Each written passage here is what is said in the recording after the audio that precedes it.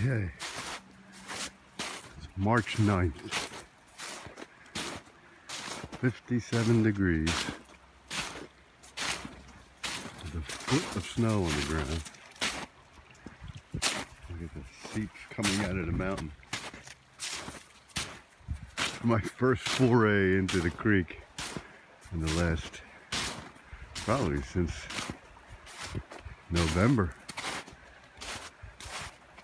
The last place for the snow to melt.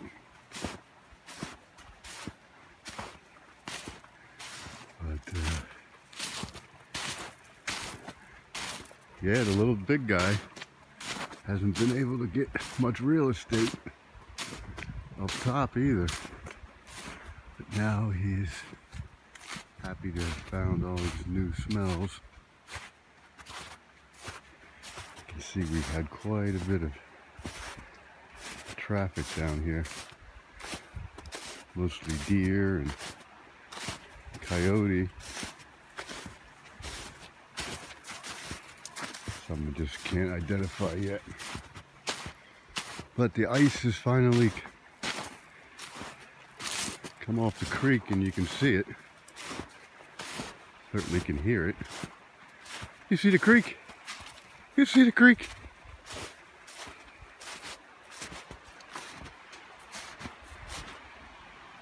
Been so cold that the whole surface was covered with ice and snow.